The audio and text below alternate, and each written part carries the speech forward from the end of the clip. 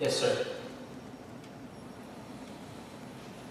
Thank you, John. Uh, Greg Yarborough again.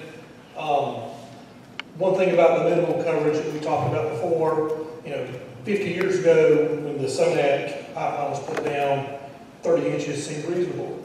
You know, now five feet seems reasonable to, to us. But farmer practices in the future may, may, may change that even more. So I definitely think that's something that we need to consider as far as minimum coverage.